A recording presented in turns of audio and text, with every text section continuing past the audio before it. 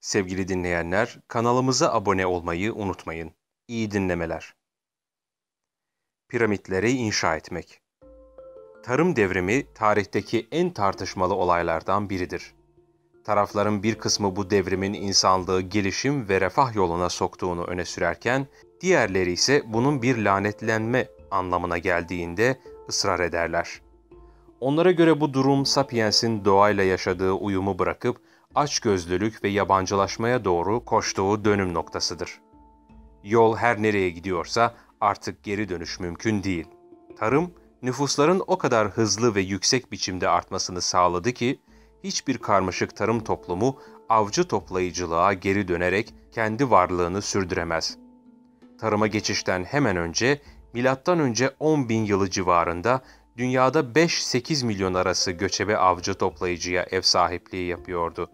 Dünya 5-8 milyon arası göçebe avcı toplayıcıya ev sahipliği yapıyordu. Birinci yüzyılda sadece 1-2 milyon avcı toplayıcı kalmıştı. Özellikle Avustralya, Amerika ve Afrika'da. Ve nüfusları dünyadaki 250 milyon çiftçinin yanında hiçbir şeydi. Çiftçilerin büyük bölümü kalıcı yerleşimlerde yaşarken sadece çok azı göçebe çobanlardı. Yerleşik yaşama geçiş çoğu kişinin arazisinin ciddi ölçüde azalmasına yol açtı. Eski avcı toplayıcılar onlarca hatta yüzlerce kilometre karelik topraklarda yaşarlardı. Tepeleri, dereleri, ağaçları ve gökyüzüyle beraber evleri tüm araziydi. Öte yandan köylüler günlerinin büyük bölümünü küçük bir tarlada veya meyve bahçesinde çalışarak geçirirdi ve barınakları da taş, çamur ve ahşaptan yapılma ufacık yapılardı. Ortalama köylü evine çok ciddi bağlılık getirmişti. Bu, mimari olduğu kadar psikolojik yönleri de olan etkileri çok geniş bir devrimdi.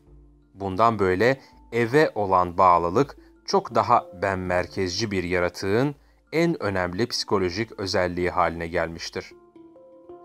Yeni tarım alanları öncekilerden hem çok daha küçük hem de çok daha yapaydı. Avcı toplayıcılar yangın çıkarmak dışında gezindikleri alanlarda pek az bilinçli değişiklik yapmışlardı. Çiftçilerse etraflarını çeviren yaban ortamında dikkatle ve emekle yarattıkları yapay insan adacıklarında yaşıyorlardı. Ormanları kestiler, kanallar yaptılar, tarlaları temizlediler, evler yaptılar, oluklar kazdılar ve düzenli sıralar halinde meyve ağaçları diktiler. Ortaya çıkan habitat sadece insanlar ve onların bitkileriyle hayvanları için uygundu. Zaten genellikle de çitler, duvarlar veya hendeklerle çevriliydi. Çiftçi aileler yabani otları ve hayvanları uzak tutmak için ellerinden geleni yaparlardı. İçeriye girmeyi başaran ziyaretçiler de dışarı çıkarılırdı. Eğer içeride kalmakta ısrar ederlerse insanlar bunları yok etmenin yollarını arardı. Evlerin etrafına bilhassa daha güçlü savunma mevzileri yapılırdı. Tarımın ilk dönemlerinden günümüze kadar milyarlarca insan ellerinde dallar, sineklikler, ayakkabılar ve zehirli sıvılarla inatçı karıncalara, hamam böceklerine, oradan oraya fırlayan örümceklere, yolunu şaşırıp sürekli insanların ortamına girmeye çalışan arılara karşı amansız bir savaş verdi. İnsan eliyle yapılmış bu kurtarılmış bölgeler tarihin büyük bir bölümünde çok küçüktü ve evcilleştirilmemiş doğanın geniş parçalarıyla çevriliydi. Dünyanın yüzeyi yaklaşık 510 milyon kilometre karedir ve bunun yaklaşık 155 milyonu karadır. Milattan sonra 1400 gibi geç bir tarihte bile çiftçilerin çoğu hayvanları ve bitkileriyle birlikte sadece 11 milyon kilometre karelik bir alanda yani gezegenin yüzeyinin %2'sine sıkışmış vaziyette yaşıyordu. Bunun dışında kalan her şey çok soğuk, çok sıcak, çok kuru, çok nemli ve başka bir şekilde tarıma elverişsizdi. Tüm tarih bu küçücük %2'lik alanda olup bitti. İnsanlar için bu yapay adalarını bırakmak zordu. Her şeylerini kaybetme riskine almadan evlerini, tarlalarını ve tahıl depolarını bırakamıyorlardı. Dahası zaman geçtikçe insanların daha fazla taşınmaz eşyası olmuştu ve bunlar da insanları yaşadığı yere bağlıyordu. Eski çiftçiler bizim gözümüze fukara görünebilir ama ortalama bir çiftçi ailesi bir avcı toplayıcı kabilesinin tamamından daha fazla eşyaya sahipti.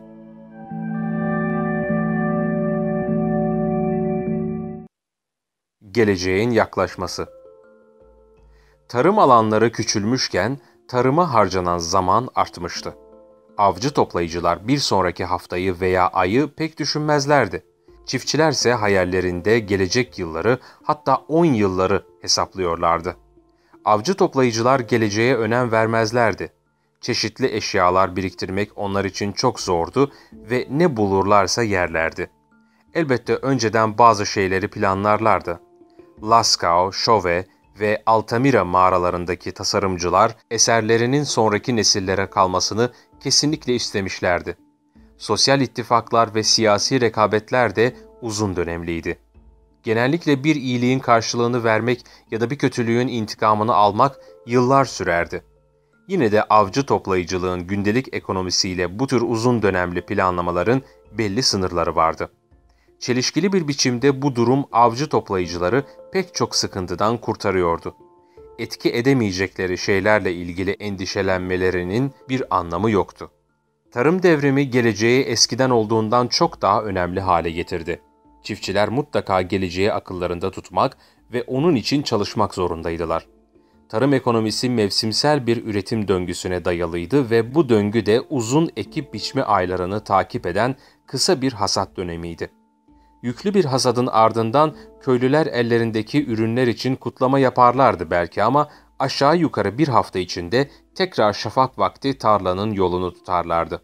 O gün için hatta gelecek hafta için ve gelecek ay için bile yeterli yiyecek olmasına rağmen çiftçiler gelecek yılı ve ondan sonraki yılları düşünmek zorundaydı.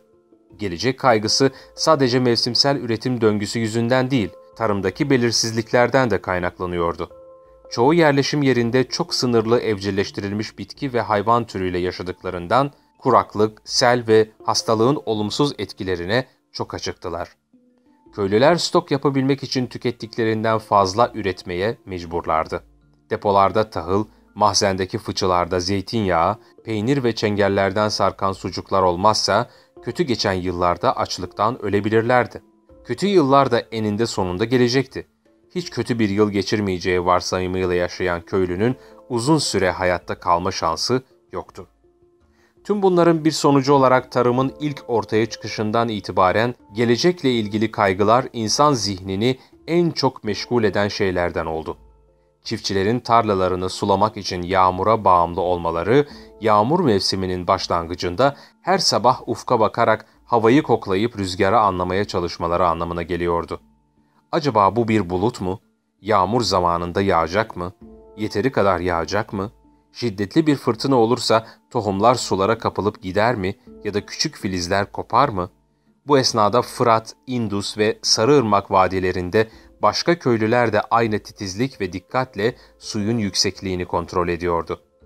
Yukarıdaki tepelerden gelen suyun bereketli toprağı beslemesi için nehirlerin yükselmesi ve büyük sulama sistemlerinin suyla dolması gerekiyordu. Öte yandan çok yüksek seviyeye gelen su veya yanlış zamanda gerçekleşen bir su baskını tarlaları kuraklık kadar etkileyebiliyordu. Köylülerin gelecek korkusu hem korkmaları için daha çok sebepleri hem de buna karşılık bir şeyler yapabilme şanslarının olmasındandı. Doğal felaketleri önlemek için başka bir tarla açabilir, başka bir sulama kanalı kazabilir veya daha fazla ekin ekebilirlerdi. Endişeli köylüler en az yaz sıcağında çalışan karıncalar kadar çalışkan ve telaşlıydı kanter içinde kalmak pahasına çocukları ve torunlarının kullanabileceği zeytin ağaçlarını dikmek ve bugün canı çekse dahi elini süremediği yiyeceği kışın veya sonraki yıl hayatta kalmak için saklamak önemliydi. Büyük ölçekli politik ve toplumsal sistemlerin kurulmasına yol açan çiftçiliğin yarattığı baskının çok geniş etkileri vardı. Azimli ve çalışkan çiftçiler ne yazık ki o günkü çalışmalarının karşılığı olarak ulaşmak istedikleri ekonomik güvenceye neredeyse hiçbir zaman ulaşamadılar. Her yerde ortaya çıkan yöneticiler ve seçkinler, köylülerin emeğiyle ürettiği fazla gıda ile beslenip, çiftçileri de zar zor hayatta kalabildikleri bir yaşama mahkum ettiler. El konan bu yiyecekler, siyaseti, savaşları, sanatı ve felsefeyi canlandırdı. İnsanlar saraylar, kaleler, anıtlar ve tapınaklar inşa ettiler.'' Geç modern çağa kadar insanların %90'ından fazlası her sabah erken kalkıp kan ter içinde kalana dek çalışan köylüler olarak yaşıyorlardı. Ürettikleri fazladan gıda, tarih kitaplarını dolduran küçük bir seçkin azınlığı doyuruyordu. Krallar, bürokratlar, askerler, rahipler, sanatçılar ve filozoflar. Tarih çok az insanın yaptığı, geri kalanının da tarla sürdüğü veya su kovaları taşıdığı bir şeydir. Hayali bir düzen Üretilen gıda fazlasının yeni ulaşım teknolojileriyle birleşmesi, giderek daha fazla insanın köylere, sonra kasabalara ve nihayet şehirlere doluşmasına imkan sağladı. Bunların hepsi yeni krallıklar ve ticari ağlarla birbirine bağlıydı. Öte yandan bu yeni fırsatlardan faydalanmak için gıda fazlası ve gelişmiş ulaşım teknikleri yeterli değildi. Bin kişiyi bir kasabada veya bir milyon kişiyi bir krallıkta barındırabilmek ve besleyebilmek, insanların toprağı ve suyu nasıl bölüştükleri konusunda anlaşabilmelerini, kavgaları ve çatışmaları çözebilmelerini ve kuraklık ve savaş gibi durumlarda nasıl davranacaklarını bilebilmelerini gerektiriyordu. Eğer bir anlaşmaya varılamazsa gıda depoları dolu bile olsa kavgalar önlenemiyordu. Tarihteki savaşların ve devrimlerin çoğu gıda kıtlığından kaynaklanmamıştır. Fransız devriminin öncüleri aç çiftçiler değil, zengin avukatlardı. Roma Cumhuriyeti gücünün doruğuna milattan sonra 1. yüzyılda ulaşmıştı. Tam da tüm Akdeniz'den gelen hazineler Romalıları atalarının hayal bile edemeyeceği kadar zenginleştirmişken. Roma siyasi sistemini tam da bu en güçlü olduğu dönemde bir dizi iç savaş çökertti. Yugoslavya'nın 1991'deki kaynakları tüm vatandaşlarını beslemek için yeter de artardı. Ancak ülke bölündü ve kan gövdeyi götürdü. Bu tür belaların kaynağı insanların milyonlarca yıl boyunca birkaç düzine bireyden oluşan küçük gruplar halinde evrimleşmiş olmasıdır tarım devrimini izleyen ve şehirlerin, krallıkların ve imparatorlukların ortaya çıkışına tanıklık eden birkaç bin yıllık kısa süre, kitlesel işbirliğini sağlayan bir içgüdünün evrimleşmesi için yeterli değildi. Avcı toplayıcı dönemlerde yüzlerce yabancı bu tür biyolojik içgüdülerin eksikliğine rağmen inandıkları ortak mitler sayesinde işbirliği yapabiliyordu. Ama bu gevşek ve sınırlı bir işbirliğiydi her Sapiens grubu kendi yaşamına bağımsız olarak devam ediyor ve kendi ihtiyaçları için uğraşıyordu. Tarım devrimi sonrası yaşananlardan habersiz 20 bin yıl önce yaşamış bir sosyolog, mitolojinin çok sınırlı bir etkisi olduğu sonucuna rahatlıkla varabilirdi. Ataların ruhu veya kabile totemlerine ilişkin hikayeler, yaklaşık 500 kişinin deniz kabuğu ticareti yapmasını kutlamalarda bir araya gelmesini ve bir Neandertal grubunu ortadan kaldırmak için işbirliği yapmasını sağlıyordu. Ancak bunun ötesinde bir gücü yoktu.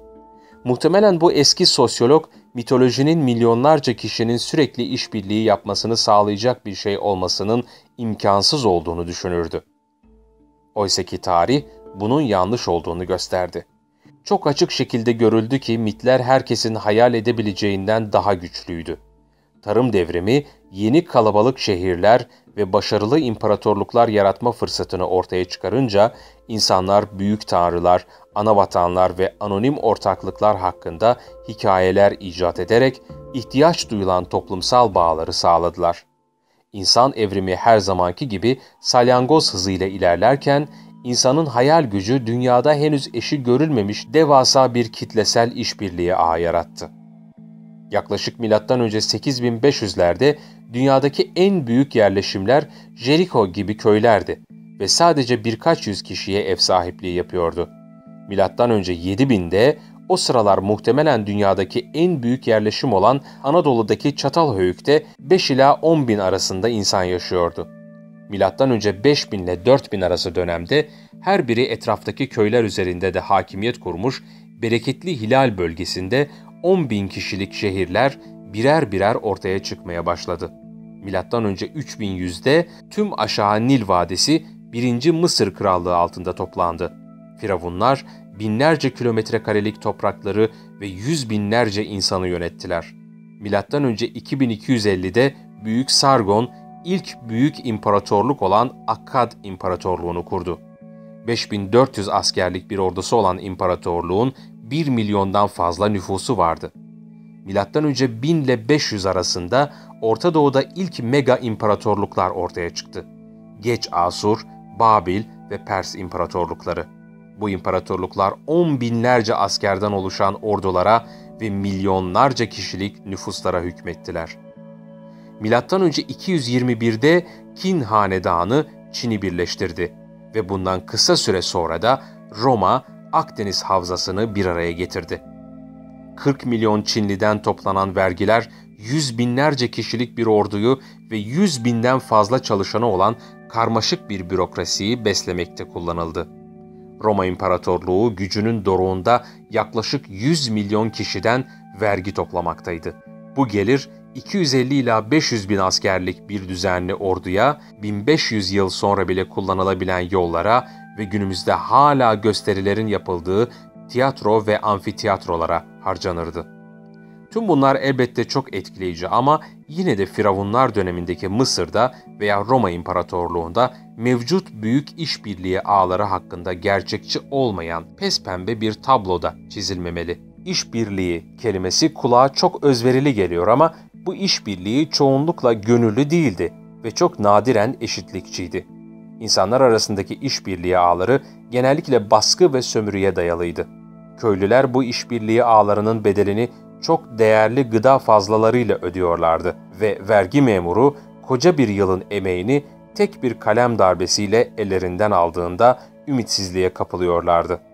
Meşhur Roma amfitiyatroları genellikle Romalı köylüler tarafından diğer işsiz güçsüz ve zengin Romalılar vahşi gladyatör gösterilerini izleyebilsin diye yapılıyordu. Hapishaneler ve toplama kampları bile işbirliği ağları arasında sayılabilir ve bunlar da diğerleri gibi binlerce yabancı koordine edebildiği için işler. Mezopotamya'nın antik şehirlerinden Kin ve Roma imparatorluklarına kadar tüm bu iletişim ağları hayali düzenlerdi. Bu sistemlerin sürekliliğini sağlayan toplumsal normlar, içgüdülere veya kişisel tanışıklıklara değil, ortak mitlere olan inanca dayalıydı. Mitlerin koca koca imparatorlukların sürmesini nasıl sağlayabildiğinin bir örneğini daha önce işlemiştik. Peugeot. Şimdi tarihteki en bilinen mitlerin ikisini ele alalım. İlki, yüz binlerce eski Babilli arasında bir işbirliği kılavuzu olarak işlev görmüş, M.Ö. 1776 yılında yazılmış Hammurabi kanunları, diğeri ise milattan sonra 1776'da ilan edilmiş, bugün 100 milyonlarca Amerikalı arasında bir işbirliği kılavuzu olarak işlev gören Amerikan Bağımsızlık Bildirgesi. Milattan önce 1776'da Babil dünyanın en büyük şehriydi. Babil İmparatorluğu da 1 milyondan fazla nüfusuyla muhtemelen dünyanın en büyük imparatorluğu. Bugünkü Irak'ın büyük bölümüyle Suriye ile İran'ın çeşitli kesimleri de dahil Mezopotamya'nın büyük bölümüne hükmediyordu. Bildiğimiz en ünlü Babil kralı Hammurabi'dir. Bu ün en başta Hammurabi kanunları olarak bilinen metinden kaynaklanmaktadır. Bu metin Hammurabi'yi adil bir kral olarak göstermek, Babil İmparatorluğu'nun her yerinde standart bir hukuk sistemi kurmak ve gelecek nesillere adaletin ne olduğunu, adil bir yöneticinin nasıl olması gerektiğini anlatmak amacı taşıyan bir yasalar ve adli kararlar toplamıdır. Sonraki nesiller de bunu dikkate aldılar. Antik Mezopotamya'nın entelektüel ve bürokratik seçkinleri metni kutsadı ve Hammurabi'nin ölümünden ve imparatorluğun harabeye dönmesinden çok sonraları bile metni kopyalayarak yaymaya devam ettiler. Hammurabi kanunları bu yüzden eski Mezopotamya'nın ideal toplumsal düzen anlayışını kavramak için iyi bir kaynaktır. Metin başlangıçta Mezopotamya panteonunun en önde gelen tanrıları olan Anu, Enlil ve Marduk'un Hammurabi'yi seçerek adaletin imparatorluk topraklarında hüküm sürmesini, kötülüğün ve habisliğin ortadan kalkmasını, güçlünün zayıfı ezmesini engellemek istediğini anlatır. Bundan sonra yaklaşık 300 hüküm şu ve şu olaylar gerçekleşirse bunun yargılanması şu şekilde olur biçiminde listelenir. Örneğin 196, 199 ve 209, 214 hükümleri şöyledir. 196. Eğer bir üstün insan başka bir üstün insanın gözünü kör ederse, onun da gözü kör edilmelidir. 197. Eğer başka bir üstün insanın kemiğini kırarsa, onun da kemiği kırılmalıdır. 198. Eğer sıradan bir insanın gözünü kör eder veya kemiğini kırarsa 60 şekel karşılığında gümüş ödemelidir. 199. Eğer bir üstün insan kölesinin gözünü kör eder veya kemiğini kırarsa kölenin ağırlığının gümüş cinsinden değerinin yarısını ödemelidir. 209. Eğer bir üstün insan üstün bir kadına vurur ve onun düşük yapmasına sebep olursa cenin için 10 şekel ağırlığında gümüş ödemelidir. 210. Eğer kadın ölürse adamın kızı öldürülmelidir. 211. Eğer bu üstün insan sıradan bir kadına vurup onun düşük yapmasına sebep olursa 5 şekel ağırlığında gümüş ödemelidir. 212. Eğer bu kadın ölürse 30 şekel ağırlığında gümüş ödemelidir. 213. Eğer üstün insan üstün bir insanın köle kadınına vurur ve düşük yapmasına sebep olursa 2 şekel ağırlığında gümüş ödemelidir. Eğer köle kadın ölürse 20 şekel ağırlığında gümüş ödemelidir. Bu hükümleri listeledikten sonra bunların Hammurabi'nin adil kararları olduğunu, adil kralın bu kuralları yerleştirerek toprakları hakikat ve yaşamın gerekleri doğrultusunda yönettiğini ilan eder. Ben soylu kral Hammurabi, Tanrı Enlil tarafından benim korumama bırakılmış, Tanrı Marduk tarafından rehberliğiyle görevlendirildiğim insanlığa karşı umarsız veya ihmalkar olmadım. Hammurabi kanunları Babil toplumunun düzeninin tanrılar tarafından belirlenmiş evrensel ve ebedi adalet ilkeleri temelinde olacağını öne sürer. Hiyerarşi ilkesi muazzam önemlidir. Kanunlara göre insanlar iki cinsiyete ve üç sınıfa ayrılırlar. Üst insanlar, sıradan insanlar ve köleler. Her bir cinsiyetin ve sınıfın farklı değerleri vardır. Sıradan vatandaş olan bir kadının hayatının değeri 30 gümüş şekel, köle kadının 20 gümüş şekel, buna karşılık sıradan bir erkeğin gözünün değeri 60 gümüş şekeldir. Kanunlar ayrıca aile içinde de katı bir hiyerarşi öngörür. Buna göre çocuklar bağımsız bireyler değil, ailenin mülküdürler. Dolayısıyla eğer bir üstün erkek başka bir üstün erkeğin kızını öldürürse, katilin kızı ceza olarak öldürülür. Katile ceza verilmeyip suçsuz kızının öldürülmesi bize garip gelebilir ama Hammurabi ve Babilliler bunu gayet adil buluyorlardı. Hammurabi kanunları kralın tebaasının hiyerarşideki yerlerini kabul etmeleri ve buna göre davranmaları durumunda imparatorluktaki 1 milyon bireyin etkili bir şekilde işbirliği yapabileceği ilkesine dayanır. Bu işbirliği gerçekleşince toplum için yeterli yiyecek üretebilecek, bu gıda etkili bir şekilde dağıtılabilecek, düşmanlara karşı korunulabilecek ve daha fazla refah ve güvenlik sağlanabilecekti. Hammurabi'nin ölümünden yaklaşık 3500 yıl sonra Kuzey Amerika'daki İngiliz kolonilerinde yaşayanlar İngiltere kralının kendilerine adil davranmadığını düşünüyorlardı. Halkın temsilcileri 4 Temmuz 1776'da Philadelphia'da bir araya gelerek artık bu halkın İngiliz krallığının tebaası olmadığını ilan ettiler. Tıpkı Hammurabi kanunları gibi bağımsızlık bildirgesi de evrensel ve ebedi adalet ilkelerini ilahi bir güce dayandırıyordu. Buna karşılık Amerikan tanrısının ilettiği en önemli ilke Babil'in tanrılarınkinden farklıydı. Amerikan bağımsızlık bildirgesi. Bu gerçeklerin tartışmasız olduğunu, tüm insanların eşit yaratıldığını, insanlara yaratıcı tarafından bahşedilmiş bazı haklar verildiğini ve bunlar arasında yaşam, özgürlük ve mutluluğun peşinden gitme hakkı olduğunu ilan eder. Hammurabi kanunları gibi Amerikan kuruluş belgesi de eğer insanlar bu kutsal ilkelere göre hareket ederse milyonlarcasının adil ve müreffeh bir toplumda etkin bir işbirliği yapabileceğini ve birlikte güven içinde yaşayabileceğini iddia eder. Hammurabi kanunları gibi Amerikan bağımsızlık bildirgesi de kendi zaman ve mekanında geçerli olduğu gibi sonraki nesiller tarafından da kabul edilen bir belgedir. Amerikalı öğrenciler 200 yıldan uzun bir süredir bu bildirgeyi ezbere öğrenirler. Bu iki metin bizi çok açık bir ikileme sürükler.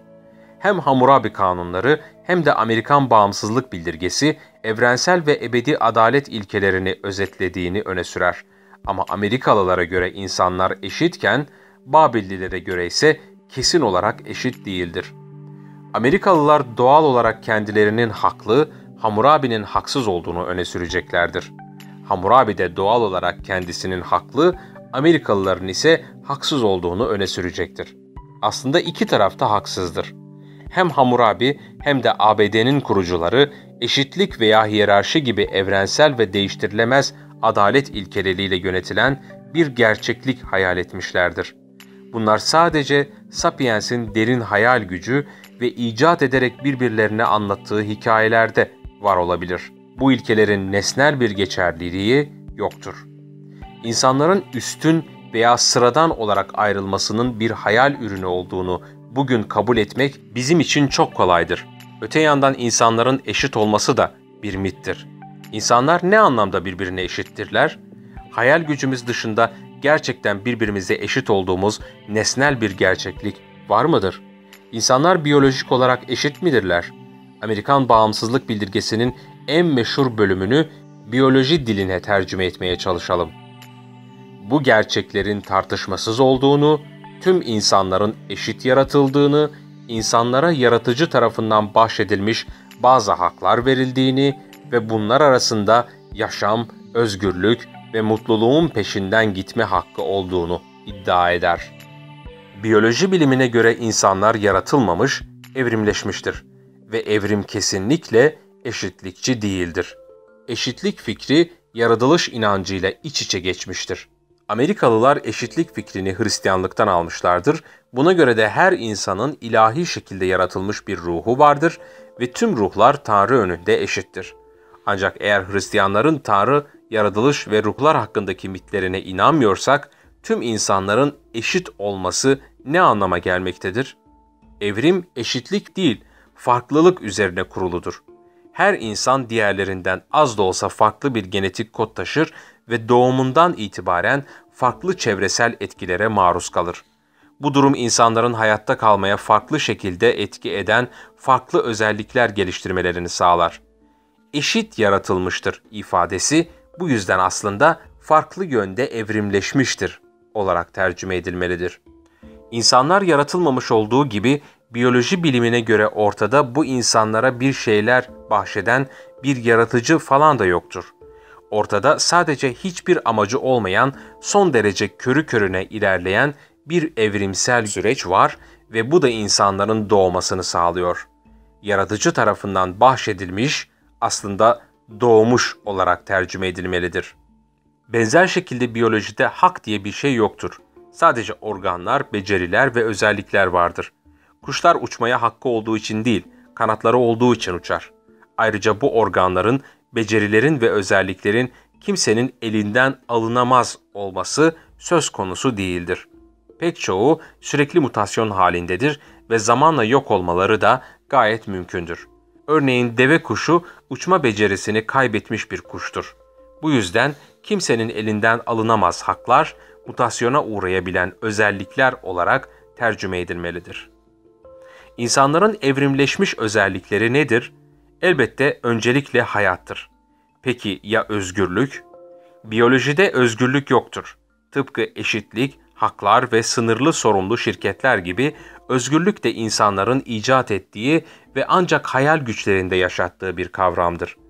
Biyolojik bakış açısıyla bakıldığında insanların demokrasilerde özgür, diktatörlüklerde özgürlüklerinden mahrum yaşadıklarını söylemenin hiçbir anlamı yoktur. Peki ya mutluluk? Şimdiye kadar biyolojik araştırmalar mutluluğun açık bir tanımını yapmayı veya mutluluğu nesnel olarak ölçmeyi başaramamıştır. Çoğu biyolojik araştırma kolayca tanımlanabilen ve ölçülebilen zevkin varlığını tanımlamıştır. Bu yüzden hayat, özgürlük ve mutluluğu aramak, hayat ve zevki aramak olarak tercüme edilmelidir. Sonuç olarak Amerikan bağımsızlık bildirgesinin ilgili kısmı biyolojik terimlere çevrilince ortaya şu çıkıyor. Bu gerçeklerin tartışmasız olduğunu, tüm insanların farklı evrimleştiğini, insanların mutasyona uğrayabilen bazı özelliklerle doğduğunu ve bunlar arasında yaşama isteği ve zevk aramak olduğunu iddia eder. Eşitlik ve insan hakları savunucuları bu mantık yürütme karşısında çok tepkili olabilirler. Buna cevapları muhtemelen şöyle olacaktır. İnsanların biyolojik olarak eşit olmadığını biliyoruz. Fakat eğer özünde hepimiz eşit olduğuna inanırsak, istikrarlı ve müreffeh bir toplum yaratabiliriz. Benim buna itirazım yok. Benim de hayali düzenle kastettiğim tam olarak bu. Belirli bir düzene nesnel bir doğru olduğu için değil, buna inanmak etkili bir işbirliği yapmamızı ve daha iyi bir toplum kurmamızı sağlayacağı için inanıyoruz. Hayali düzenler kötü niyetli komplolar veya amaçsız seraplar değildir. Aksine çok sayıda insanın etkin işbirliği yapabilmesinin tek yoludur. Bu arada unutmamak gerekir ki Hammurabi de hiyerarşi ilkesini aynı mantıkla savunabilirdi. Biliyorum ki üstün insanlar, sıradan insanlar ve köleler özünde farklı insanlar değillerdir. Ama eğer onların farklı olduğuna inanırsak, istikrarlı ve müreffeh bir toplum kurabiliriz.''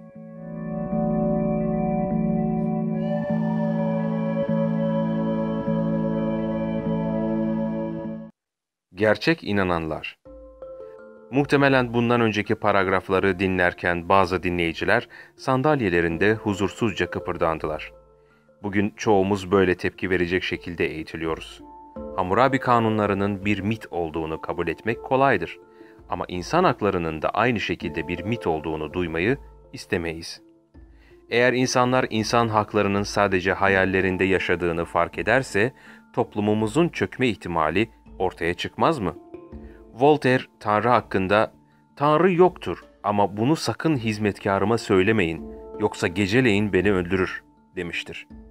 Hammurabi aynısını hiyerarşi ilkesi hakkında Thomas Jefferson da insan hakları için söylerdi. Homo sapiens'in doğal hakları yoktur. Tıpkı örümcekler, sırtlanlar ve şempanzelerin doğal hakları olmadığı gibi. Ama bunu hizmetkarlarımıza söylememeliyiz. Yoksa geceleyin bizi öldürürler. Bu tip korkular çok anlaşılabilirdir. Doğal düzen istikrarlı düzendir. İnsanlar yarından itibaren varlığına inanmayı bıraksalar bile yer çekiminin ortadan kalkma ihtimali yoktur. Buna karşın hayali bir düzen her zaman çökme ihtimaliyle karşı karşıyadır. Çünkü varlığı mitlere bağlıdır ve mitler insanlar onlara inanmayı bıraktığı anda çökerler. Hayali bir düzeni korumak sürekli ve büyük bir çaba gerektirir. Bu çabaların bazıları şiddet ve zorlama biçimindedir. Ordular, polis kuvvetleri, mahkemeler ve hapishaneler kesintisiz olarak insanların hayali düzene uygun olarak davranmasını sağlamak için çalışırlar. Eğer bir Babilli komşusunun gözünü çıkarırsa, kısasa kısas kanununu uygulamak için bir miktar şiddet gerekli oluyordu. 1860'da Amerikan vatandaşlarının çoğu Afrikalı kölelerin de insan olduklarını ve dolayısıyla özgürlük hakkından faydalanmaları gerektiğini düşündüğünde güney eyaletlerini ikna etmeleri bir iç savaşa mal olmuştu. Öte yandan hayali bir düzen sadece şiddetle sürdürülemez. Sisteme gerçekten inananların da olması gerekir. Bu kalemun vari kariyerine 16. Louis'nin yanında başlayan, ardından devrim sonrası Cumhuriyet ve Napolyon dönemlerinde hizmet eden, tekrar tesis edilmiş monarşide çalışabilmek için gerektiğinde bağlılığını değiştiren Talleyrand Prensi, 10 yıllar boyunca edindiği yönetim deneyimini şu sözlerle özetlemiştir. Süngüyle pek çok şeyi yapabilirsiniz ama üstüne oturmak pek rahat değildir. Bazen yüzlerce askerin yapamadığını tek bir rahip üstelik çok daha ucuz ve etkili bir şekilde yapabilir. Dahası süngüler ne kadar etkili olursa olsun onları da birinin kullanması gerekir. Askerler, gardiyanlar, yargıçlar ve polisler neden inanmadıkları bir hayali düzeni korumak için uğraşsınlar? Tüm topluca yapılan insan faaliyetleri içinde örgütlemesi en zor olanı şiddettir. Bir toplumsal düzenin askeri yöntemlerle sağlandığını söylemek anında başka bir soruyu akla getirir askeri düzeni ne sağlar? Bir orduyu yalnızca zor kullanarak örgütlemek imkansızdır. En azından bazı komutanların ve askerlerin tanrı, onur, vatan, erkeklik veya para gibi bir şeylere inanmaları gerekir. Daha ilginç bir soru da toplumsal piramidin tepesindekilerle ilgilidir. Eğer inanmıyorlarsa neden hayali bir düzene oturtmak istesinler? Seçkinlerin bunu küçümseyici bir sinizmle yaptığına ilişkin yaygın bir kanı vardır. Ama hiçbir şeye inanmayan bir siniğin açgözlü olması düşük ihtimaldir. Homo sapiens'in biyolojik ihtiyaçlarını gidermek o kadar da zor değildir. Bu ihtiyaçlar karşılığında para, piramitler yapmaya, dünyanın çeşitli yerlerinde tatile gitmeye, seçim kampanyalarını finanse etmeye, en yakın olduğunuz terörist örgüte yardım yapmaya veya hepsini borsaya yatırarak daha çok para kazanmaya yarayabilir. Bunların tümü de gerçek bir siniğin son derece anlamsız bulacağı şeylerdir.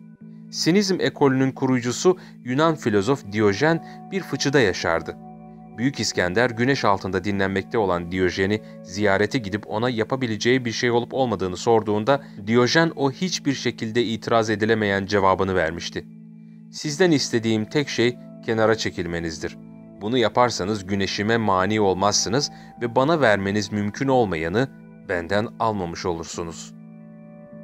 İşte bu yüzden sinikler imparatorluklar kuramazlar ve bu yüzden hayali bir düzen ancak özellikle seçkinlerin ve güvenlik güçlerinin oluşturduğu nüfusun büyük bir kısmı gerçekten inanıyorsa sağlanabilir. Eğer rahipler ve psikoposlar İsa'ya inanmasalardı, Hristiyanlık 2000 yıl boyunca süremezdi. Amerikan demokrasisi eğer başkanlar ve kongre üyeleri insan haklarına inanmasalardı 250 yıl süremezdi. Modern ekonomik sistem de eğer yatırımcıların ve bankerlerin çoğu kapitalizme inanmasaydı kapitalizm bir gün bile sürmezdi.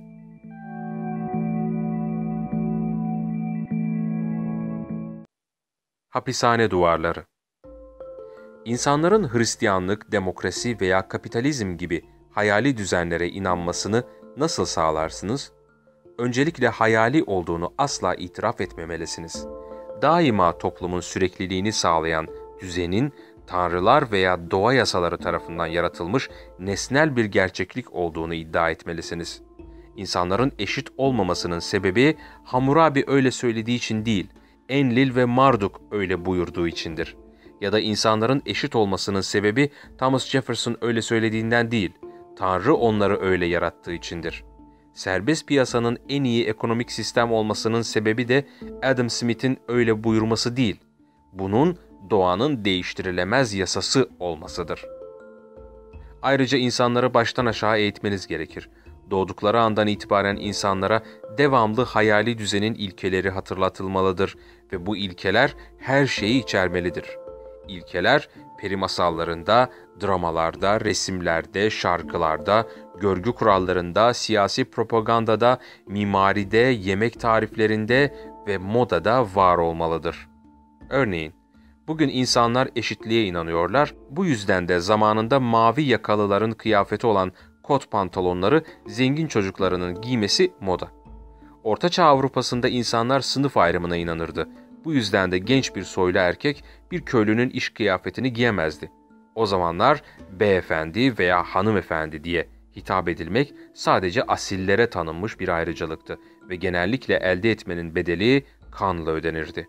Bugün tüm resmi yazışmalar muhatap gözetmeksizin bu şekilde başlıyor. Beşeri ilimler enerjisinin çoğunu hayali düzenin gündelik yaşamın dokusuna nasıl işlediğini açıklamaya harcıyor. Elimizdeki sınırlı zamanda ancak yüzeyi biraz kazıyabiliriz.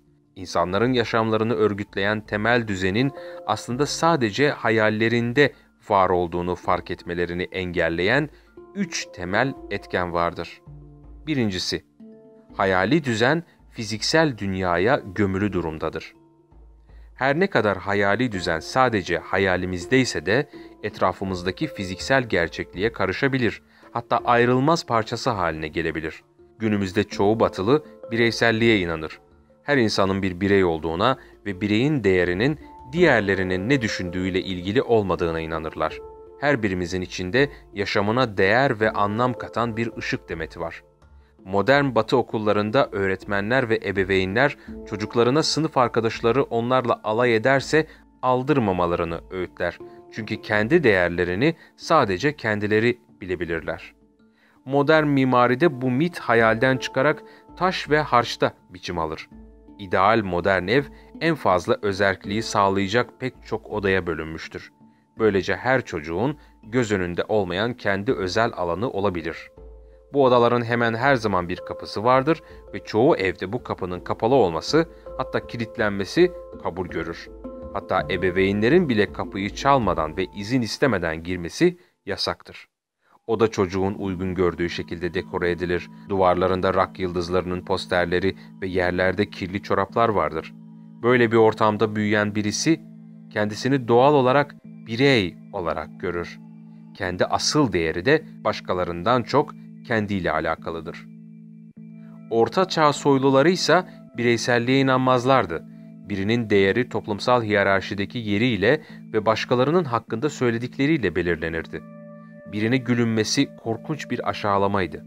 Soylular çocuklarına ailelerinin şan ve şerefini ne pahasına olursa olsun korumaya öğretirlerdi. Modern bireysellik gibi ortaçağ değer sistemi de hayalden çıkıp şatoların taşlarında buldu ifadesini. Şatolarda çocuklar veya başkaları için nadiren özel odalar bulunurdu. Bir ortaçağ baronunun ergenlik yaşındaki oğlunun şatonun ikinci katında duvarlarında aslan yürekli Richard veya Kral Arthur posterleri olan kilitli kapısını ebeveynlerinin açma izninin olmadığı bir özel odası yoktu. Büyük bir odada diğer pek çok gençle birlikte uyurdu. Hep göz önündeydi ve her zaman diğerlerinin ne gördüğünü ve ne söylediğini dikkate almak zorundaydı.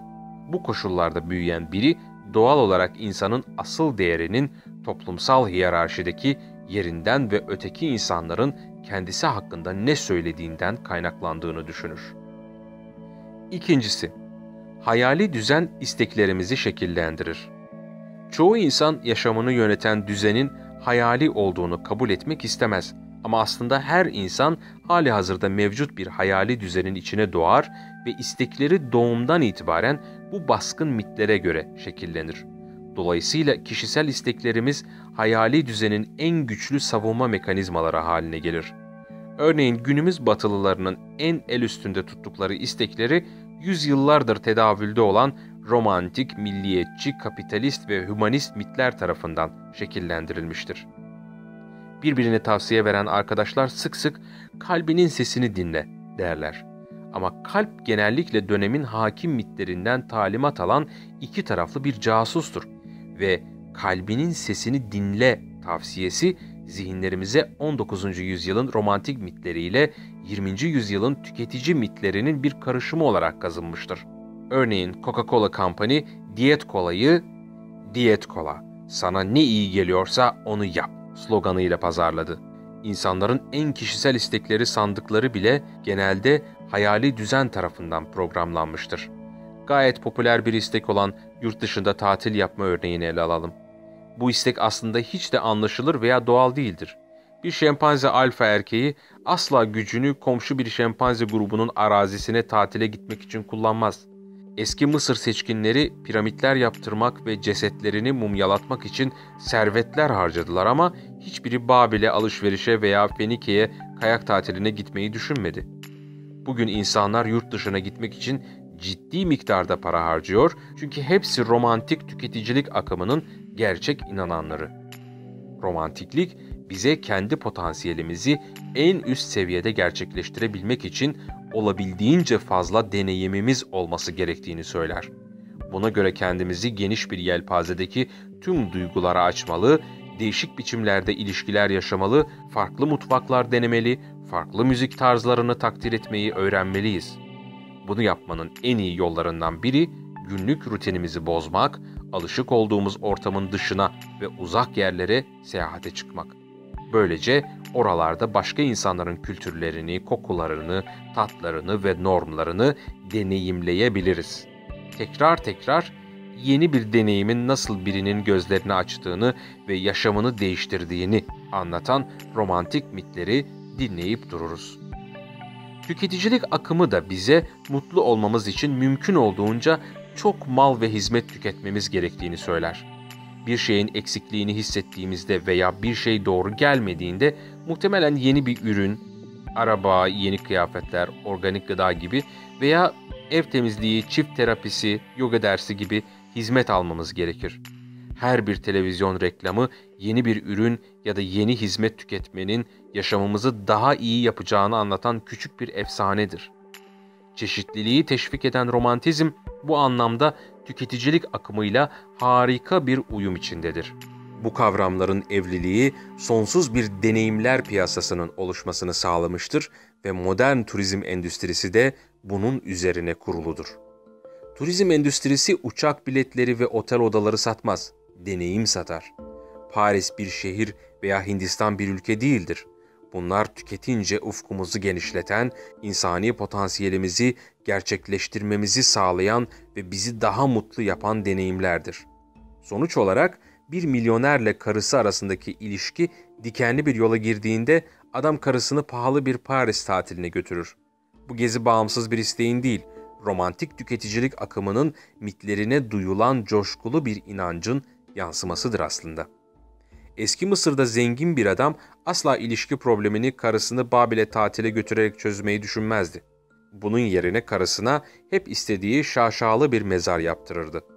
Eski Mısır'ın seçkinleri gibi çoğu kültürdeki çoğu insan da hayatlarını piramitler yapmaya adar. Sadece bu piramitlerin adı, biçimi ve büyüklüğü kültürden kültüre değişir. Kimi kültürlerde şehir dışında yüzme havuzlu ve yemyeşil çimleri olan bir çiftlik evi iken, kimisinde harika manzaralı, pırıl pırıl bir çatı katı olabilir. Çok az insan bu piramitleri istememize sebep olan mitleri sorgular. Üçüncüsü, hayali düzen kişiler arasındadır. İnsanüstü bir çabayla kişisel isteklerimi hayali düzenin ellerinden kurtarsam bile ben sadece bir kişiyim. Hayali düzeni değiştirmek için milyonlarca yabancıyı benimle işbirliği yapmaya ikna etmem gerekir. Zira hayali düzen kendi hayal gücümde yaşattığım öznel bir düzen değil, insanlar arasında yaşayan binlerce ve milyonlarcasının paylaştığı hayal gücünde yaşayan bir düzendir. Bunu anlamak için nesnel, öznel ve özneler arası arasındaki farkı anlamamız gerekir. Nesnel olay insan bilincinden veya inançlarından bağımsız olarak var olandır. Örneğin radyoaktivite bir mit değildir. Radyoaktif yayımlar insan keşfetmeden çok önce de olurdu ve insanlar anlayamayacak olsalar da zararlı olduğu kesindir. Radyoaktivitenin kaşiflerinden Marie Curie, radyoaktif maddeler üzerinde yaptığı uzun yıllar süren çalışmalar boyunca bu maddelerin vücuda zarar verebileceğini bilmiyordu.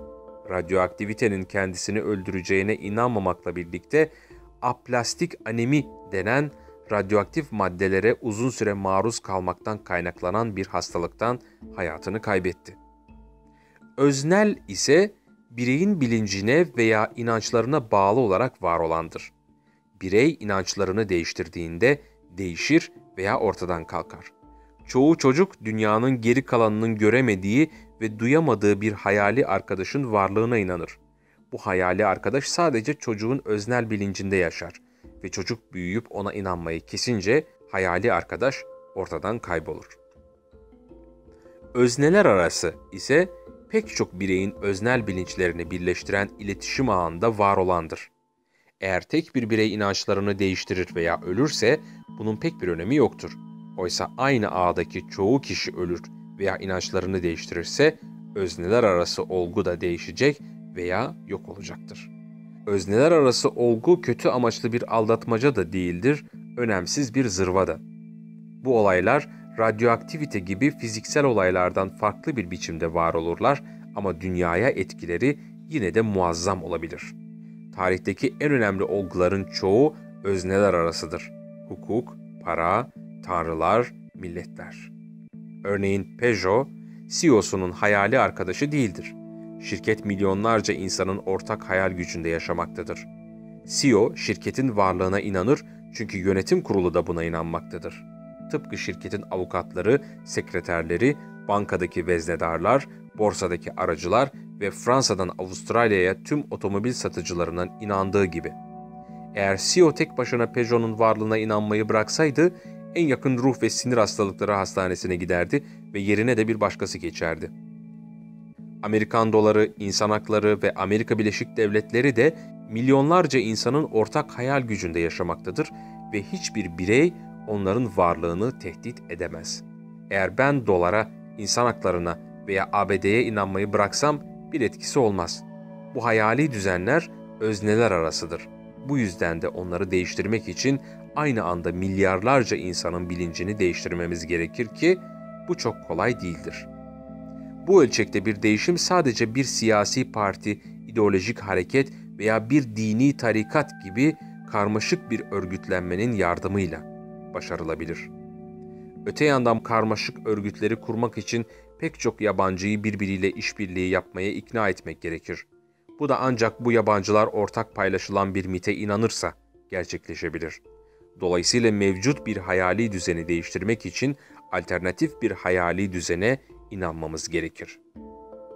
Peugeot'u ortadan kaldırmak için ondan daha güçlü bir şeyi, söz gelimi Fransız hukuk sistemini hayal edebilmemiz gerekir. Fransız hukuk sistemini ortadan kaldırmak için ondan daha güçlü bir şeyi, mesela Fransız devletini hayal edebilmemiz gerekir. Eğer bunu da ortadan kaldırmak istersek bundan da güçlü bir şeyi hayal edebilmemiz gerekir. Hayali düzen dışında bir yol mümkün değil. Etrafımızdaki hapishane duvarlarını yıkıp özgürlüğe koştuğumuzda aslında daha büyük bir hapishanenin geniş bahçesine doğru koşuyoruz. Bir sonraki fazla dolu hafıza bölümünü dinlemek için hemen ekranın sol alt köşesindeki butona tıklayın. Kanalımıza abone olmayı unutmayın.